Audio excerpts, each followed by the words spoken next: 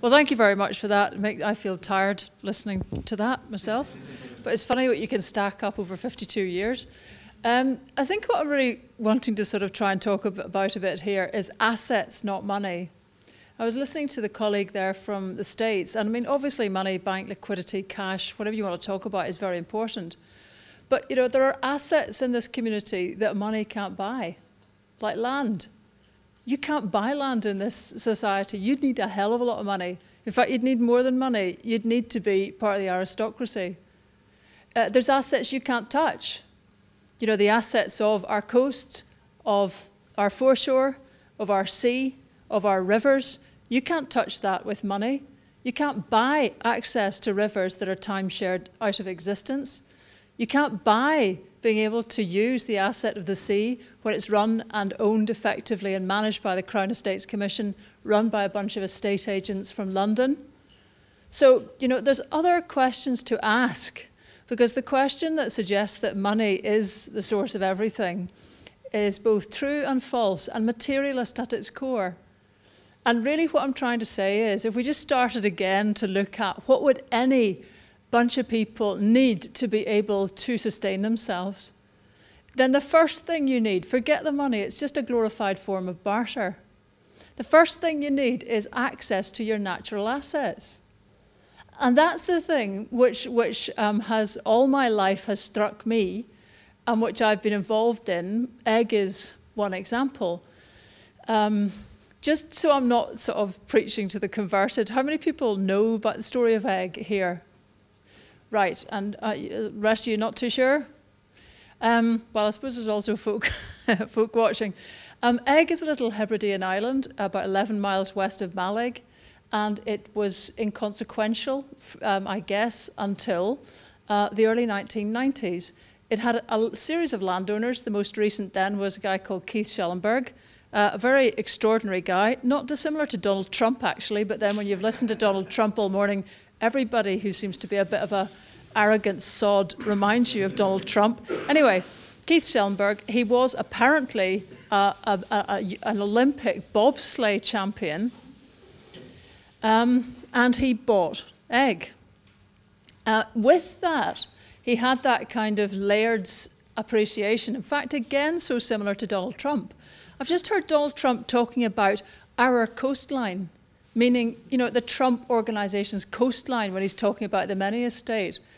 Um, all the way through this, the presumption that buying land effectively means that you own everything to do with it is not a part of Scots law. You know, Scots law fundamentally looks at land as something where you might be the custodian you're a custodian for the next generation. The idea of ownership came very late. So, anyway, um, Keith Schellenberg bought Eigg and thought he was the king of the castle and acted like it. Um, things kind of qui were quietly difficult on the island, like they're quietly difficult in lots of basically feudal communities around Scotland, where if you ask anyone if something's, you know, if there's problems, they won't voice up because people are too scared to do that. So everyone goes, well, you know, we've got bigger fish to fry, you haven't got problems, that's magic, let's go off and worry about something else. No. So on Eigg, things came to a head with the explosion of Keith Schellenberg's Rolls Royce. now, I'm not saying what happened. Safe to say that on the event of my wedding, I was presented with a piece of the camshaft. Um, which sits on the mantelpiece. Anyway, so that did bring things to a head. Schellenberg had been uh, moving around on the Rolls Royce at the same time as about a third of the people on the island had no security of tenure, had no leases from him, which meant they couldn't apply for housing improvement grants, which meant old ladies were living in one room with cold water and bricks to hold down the skylights. So um, that was kind of, you know, just laurable life on Eigg. Equally, uh, people were using diesel generators, which is the most expensive and polluting form of, of energy to use, uh, because nothing better could be put in. When I went over there, just sort of for the crack in 1991, I think, Maggie Fyffe, who many of you will now be able to visualize, long hair, laughing lady from Hull. Um, anyway, Maggie, I couldn't persuade Maggie Fyffe to pick up the phone and complain to Highland Council about the lack of a refuse collection. Now, if any of you have seen Maggie in action lately, you'll know she's changed. That lady shifts around million, millions of quid now between accounts. They're running electricity, which is a completely integrated form of renewable energy. They've won so many blinking awards, I can't keep up with them. And the biggest award they've won is that the population is increasing with the youngsters of Eigg. Because, and this is me finally getting to the point, after the community buyout there, which took a long, long time and happened in 1997, I think it's uh, 15 years this year, is it? 15? Anyway. Um, after that, one of the first things they did was give land to young people who wanted to build a house. Duh. It just immediately takes 50 to 60,000 quid out of the budget for building a house. And uh, on the island, there's all sorts of kind of wacky houses being experimented with. Somebody's done a straw bale house. You'd hasten to add the straw bales are not on the outside, but they're being used as insulation. Many of you who've ever built anything will know there's many different ways to build something. The classic way we do it is expensive, stone-based, doesn't necessarily need to be the way. Now everybody's known that for a million years. Very few people have had the chance to put it into practice. Go to Eigg, they're doing it. Uh, another thing they did, they changed the allocations policy. The first couple of houses that were fixed by the Eigg Building Cooperative, which was set up by the hitherto unemployed and arguably sometimes unemployable men there, um, who got their act together big time and formed a building cooperative. Uh, the first houses that were refurbished had a number of people applying to get them. And there was the young guy of the island who uh, was running sheep, um, there were two lassies separately who were friends. Uh, and there was an old lady from the mainland who'd been born on Eigg and would have that sort of veteran's claim on a house. Um, against all the way that councils would allocate housing, or all the way that housing associations would allocate it, they gave the house to the two girls. Because, there's two of them for starters, because the old lady would have made that a second home and because the young guy would stay anyway, and it's women that are the first to leave. Women depopulate rural areas fastest. Young women leave, and that takes so much away from a community. So, of course, needless to say, the two gals were something of a honeypot. Without going into more detail, they're both mothers now. Um, they have, you know, they have added to the population of eggs, shall we say, and you know, stabilising the women stabilises the island. Smart move, smart move broke the rules. So, you know, when you start, now when I go to Eigg, people, same people that couldn't lift the phone to complain about no refuse collection are sort of going, do you think we could actually do tidal energy there? And then do you think if we actually use the hydro, we could use the hydro, you know, we could sort of pump stuff up using the kind of intermittent energy from the tidal, uh, and then we could take the hydro down when we want it. And I mean, it's astonishing. You know, it's that kind of practical experience and confidence that comes from being able to touch nature. And as someone who is now doing a PhD in Norway, which is where I have to go to next because I have Norwegian classes, which are somewhat integral to any hope of getting this blasted PhD done. Anyway, um, you know, now, to me, the heartbreaking thing is seeing what might have been. As long as you, if you're Scots, as long as this is what you know, you're fine. When you see something that works the way this place could have worked, you're not fine. And when you start to see, you know, the ease with which lots of ideas in Norway can be done, because people haven't got this, you know, looking over their shoulder feeling when they're outdoors. They don't even understand what you mean when you say that you can't go fishing their idea of hunting, and I know this is debatable, you know, for a lot of people, is not a bunch of toffs running around with plus fours coming out of helicopters at you. In fact, I didn't even bother saying that's what happens here. It was too embarrassing. You know, in Finland, I spoke to some farmers there when we were cycling around. These guys, uh, when they do the hunt, they cull elk according to what the local uh, com committee decides, how many need to go. Uh, they then all have the day, the kids get the day off school. Uh, lots of the women are better marksmen than the men. So the women tend to do a lot of the hunting. The men and the ch children do the chasing. They knock off the two deer that they're supposed to knock off. They carve it up. Everybody gets, that's a meat eater, gets some of the venison, goes in the freezer. They have a, a swally that night. Not many dead, if you see what I mean. They enjoy it. Here, don't even start. Don't even start to try and describe the pantomime that happens here. And of course, that's a kind of controversial area because I'm not really for killing animals myself much. But when you begin to see how the Norwegians treat nature, they kind of forage it. I'm doing a PhD that's looking at cabins and huts. They have 490,000 second homes, of which 368,000 are huts. We have 400 huts. Um, we cannot experience nature, we can't experience ourselves, we can't experience the, the country that we live in because the land is already bought and sold. And the terrible thing is that we will, or perhaps it's already too late, have lost the urge. You know, why do you want to go to the country? Yeah, sure, I'm sure a few of you zip up hills and do Munro bagging and so on. But at a larger level, you know, why go to a place where you're sort of on the back foot all the time? And then ask yourself about our country with its obesity problems, its drink problems, the problems that come from people containing everything within themselves physically instead of being able to find uh, release in nature, which we're designed to have. And you come back to a bigger question than money.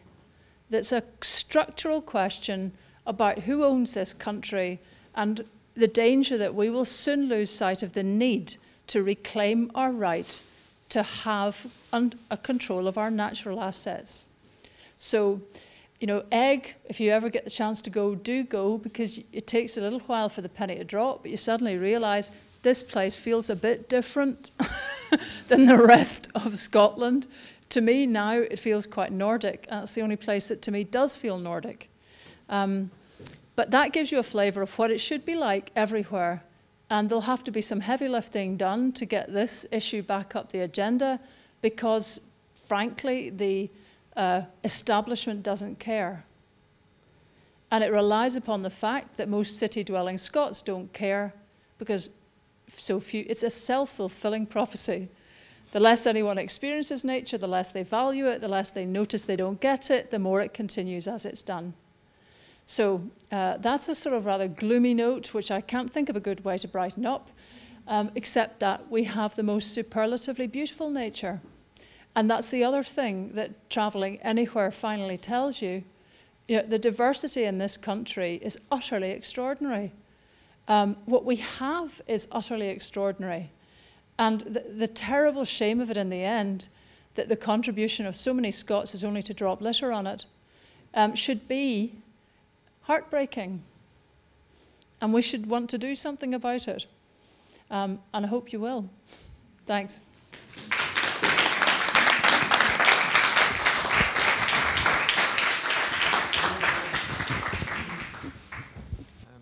Thanks for your talk, Lesley. That was very interesting. Um, would you do you think there are any?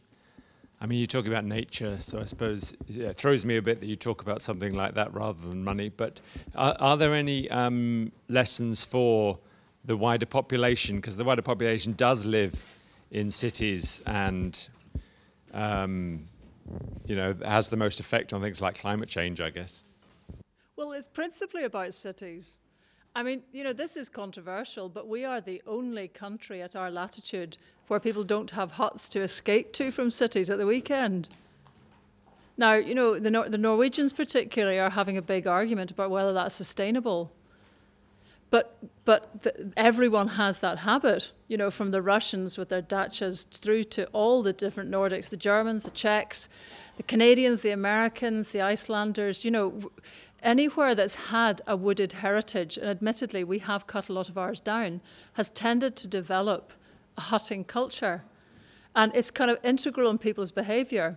You could have an argument about sustainability, but then an awful lot of people who go to the hut as their automatic destination every weekend are also not going on planes to wherever. You know, they, they expect to be fulfilled by what they find within roughly 37 kilometres of their first home. And that's the other thing. The pattern is not like many people have here, where they go to the ancestral home in the Western Isles and it takes like six hours to get there. The object of this is simply to have a different life, a manageable different life, not an idealized one that you can manage when it, you know, it's a huge problem for everybody, but something that's doable every weekend. And I think they just find it absolutely baffling. I mean, people who've been used to that pattern, you know, would rather have their legs broken than not be able to access their huts.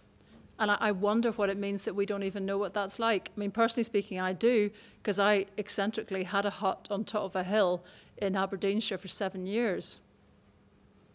So this is about cities, and it's interesting that that's the way, you know, obviously Eigg is not a city, but um, the way things are heard is that nature is always about not cities, whereas this is principally directed in a way towards cities.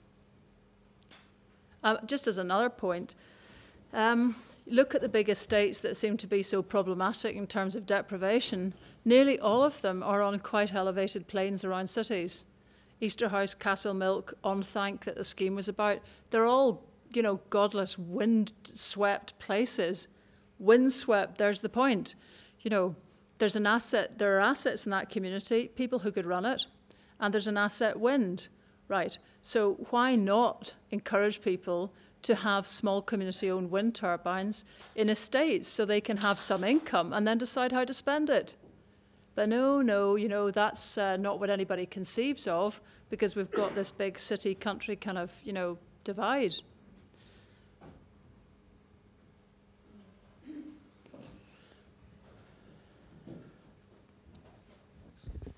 Hi. Um, oh, we planted some seeds from Eigg, by the way, up at Bilston um, at the protest site, some of the natural bluebells up there. So hopefully they'll come up in two or three years, we'll see. But um, my point is, it's a very difficult question, I apologise. Um, but is the, the way the land is used by corporate entities, i.e. mining corporations, etc., such as Scottish Coal, people like this, it's all very well saying, you know, we have this heritage, uh, of the land which we don't have access to, but at the same time it's being uh, systematically destroyed through open cast mining, quarrying, um, just getting rare elements. And this is not just an issue for Scotland, obviously, it's worldwide. Now, while the people do not have access to land for their own ends, i.e. growing food for their local communities to sustain themselves, while we are not having access to the land to do this, the corporate bodies do have access to the land to take away all and destroy for, for many future generations. Do you see uh, a way to stop this or um, any path where this can be um, kind of sidelined, slowed down, or do you think it's inevitable that the corporate world is going to eat the lion's share and leave us all scrabbling over the scraps? Well, uh, controversially, perhaps, um, I don't see a problem with some industrial use of land. And uh, what I do see a problem with is who decides. So, for example, to go back to any of the Nordic models, um, they have very small municipalities, genuinely local government. Our local government is the largest in Europe. We have, on average, a council has 162,000 people in it. That's an average. The average in Sweden is 12,000. The average in Norway is about 8 to 10,000.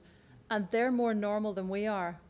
The more time you spend looking at the rest of Europe, you begin to understand that we are exceptional. We're weird. There is nobody runs their society like us. So, for example, if you looked at, at something I wrote about recently, Barra, for example, another island, um, the Barra people wanted to knock back um, a marine conservation area around them. Now, you know, a lot of people will think marine conservation, that's good. You know, freaking make them do it because that's good for the environment. They were trying to argue that a lot of things they did, which they think are, are fairly conserving activities of fishing, and this is the Western Isles, this is not the big boys with the trawlers out of Peterhead. Uh, they would like to be able to continue doing what they're doing, and they worry that the kind of blanket bans that have happened under other marine conservation areas that they can see would mean basically the Barra chaps would be out of a job. And to be blunt, they don't trust the Quangos. They've already, you know, had triple SIs where they can't dig ditches without permission. You know, they've, they've been through this. So there's a question there as to um, you can either decide from on high which outcome you want and enforce it. And to be honest with you, in that case, keep the land ownership as it is, because very few landowners want uh, quarries on their land. You know, it's the, land, the landowners do not want development in general. That's why our hydroelectric uh, development was 50 years behind Norway. It took a war before a Labour uh, Scottish secretary was able to enforce hydroelectric dams on land here because it constantly got vetoed. So the problem isn't, generally speaking, that the establishment is very keen to have industrial use of land. They want it for kind of pheasant shooting. Rough characterization. You know, some will. So my, my thing is more, you know, who gets to decide? And my experience of small communities who learn to have some control over the, the nat nature that's around them is that, you know, once you get very engaged in that, I think the best, you will probably come out with as good an outcome as it's going to get. And that might sometimes be that you want to have some use, some industrial use of land where you think that's okay. And there'll be others where you absolutely will be the biggest opposers of any attempt to quarry.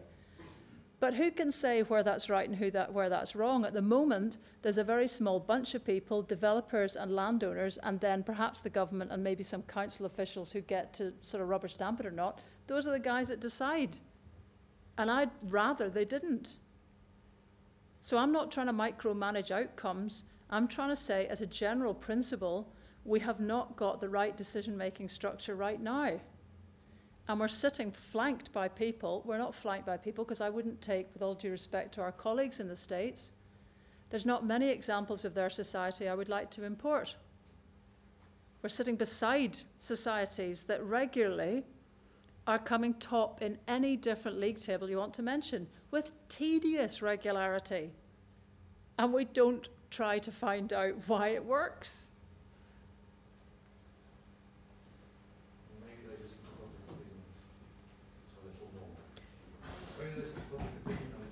Well, they are public opinion. You see, when you say that, again, it's the model we have people listening to public opinion. They are public opinion. I mean, I, I, went to, I went to a place in Iceland. There's a little municipality that runs everything in its town. There's only 800 people there, and they run everything. They part run the hospital with the other municipality beside them. So, you know, it isn't kind of like that's them. Works much better when it's by the people for the people, in, essentially. Small is beautiful. If you want to get down to a community level, that's when people start to kick in. But not community like community councils. Um, I was at a meeting of their last, their la they have an association of Scottish community councils. I was at their last meeting. Could you hazard a guess as to what the average budget of a community council is? The average annual budget of a community council, guess. Are you alive? Right, come on. 200,000? Nope. 500. You're close. It's 400 pounds. Yep. That's the, that's the average budget, right? So, you know, after that, you don't need to have a, a, more of a conversation about it. That is, you know, that is, if that's what we think of community, this is what you get.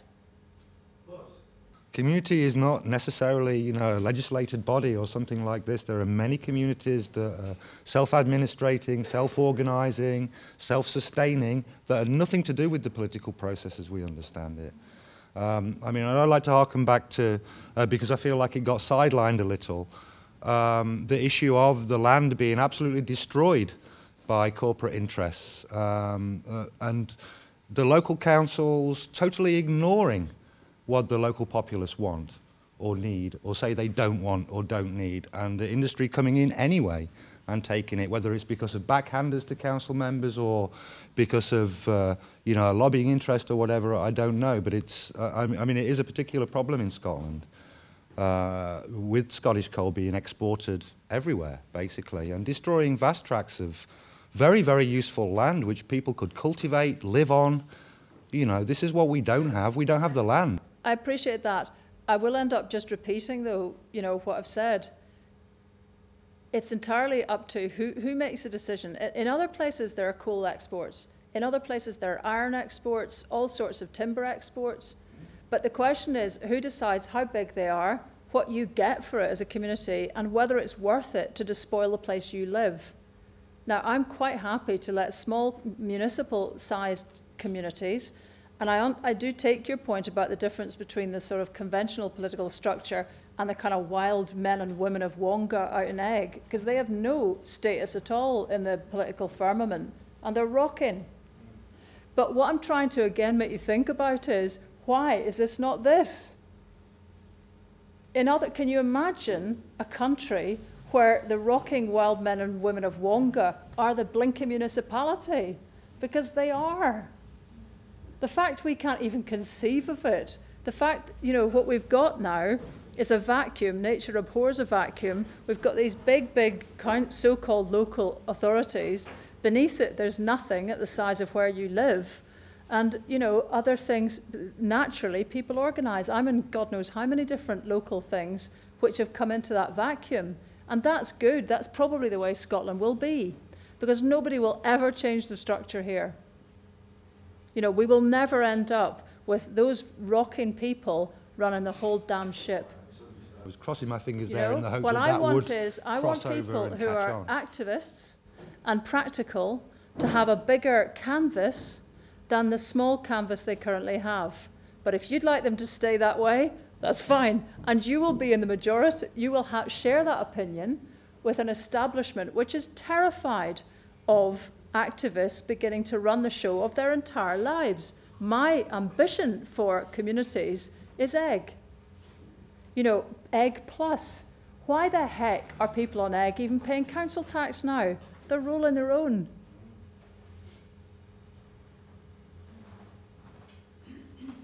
Um, yeah, I don't know whether it's the right sort of question to ask. Are two things. I've been quite inspired by Chris Cook and his Nordic model. I was wondering whether you could say anything about that. And the other about uh, electricity, you know, and community ownership, whether you can say a bit more. And the other, have you heard of Shirley Ann Hardy's work on the law of the, um, the land, uh, based on Henry George and the whole movement? Henry George, the Georgists. Yeah, but her particular work, Birthright to Land, and the research she did also in the whole thing to do with water. And the, the, the recent book she wrote is called uh, Stolen Land, Stolen Lives. No? No, I haven't read it. Um, I do know Chris Cook. I don't understand his. Uh, I don't understand the economic models that he is trying to put forward. I've got to say that. Um, to me, we're we're so one step removed. You know, it's a bit like if you get the stage where there is a groundswell, then it get it gets to the stage where you start to look at the the mechanics for delivering it. We're so far off that. I think myself, I think we need to get to the stage where everyone in this room I don't know how many people are. Well, I see Kevin Williamson. He's old enough to remember Network. Um, but you know that film where Peter Finch goes gets everybody. This is the most bizarre thing here. Everybody to kind of go to the window, open it, shout, "I'm hell, and I'm not going to take it anymore." Like, You know, we're not there. So okay, I understand. Um, there are horses for courses. There was a chap who came over to, from New Zealand. I remember this very distinctly in 1999 and he had set up the Alliance Party in New Zealand. And this party was composed of Maoris, farmers, and women. And I said to him, you know, major respect, I don't know how you keep that all going. You know, that's different people, isn't it? And he said, actually, those kind of groupings are not the issue. He said, and I've, I, not a week has passed that I haven't related this story since then because it's always so appropriate. He said, actually, within any group, there are stone throwers, institutional plodders, and alternative builders. And they hate each other. And they need each other. Now, you know, Chris is probably not an institutional plodder. I'm not. So I can't, you know, I have no idea what it is he's on about, but all part is elbow. You know, what I'm trying to do is um, perhaps a bit of a kind of combination between a stone thrower and an alternative builder which is to try and say, visualize this damn country differently, please. Because until you do, you will not seek the mechanisms to change it. And I don't know that we're even there yet because of the difficulty people have with trying to imagine locally, practically activist people um, democratically running their lives. There's a lot of other things you said, but roughly that's that. Um, I'm, I'm quite interested that you didn't mention, uh, you talked a lot about the problems of a society focused on money and materialistic considerations. Uh, and I'm quite interested that you didn't mention inequality um, in there, because obviously you look at a place like Norway, which has got far higher levels of um, equality, and uh, there's an obvious link between, you know, materialistic um, societies and societies with high levels of inequality, because status becomes associated with wealth, and people see attaining wealth as a means of attaining status and, and self-realization, things like that. Um, and surely if, if we want to achieve perhaps lo more localized decision making, more transparent and participatory democracy, a less materialistic approach to the, the society around us, the first thing we should really be tackling is inequality in, in power, in income, in um, status, in, in all these things. Sure. I mean, you know, absolutely, absolutely. But but all I'm saying, oh, you know, look, there's three people speaking here. I'll shut up soon. I'll be out of your lives. I'm trying to divvy it up so I'm not hogging the whole blooming oxygen here, right? But um, it's a question of what you're trying to kind of put forward to people first, and uh, um, the inequality. I've spent my life on that one, um, and it's very important. Uh, but like for example, um, the the book. Um, the spirit level, when it came out, I reviewed it for The Guardian. Wrote a piece in Comment is Free, never had such bile, ever, on the comments after it. Never. I mean, I appreciate *Comment Comment is Free comment section is a day out for Daily Telegraph readers. I understand that now, you know. And just like, as a word to everyone else, would you just go in there and put some normal comments sometime because it's kind of reassuring?